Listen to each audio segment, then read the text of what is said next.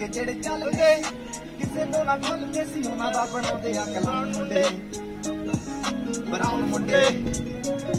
ਆਉਂਦੇ ਸੀ ਦੇ ਵੀ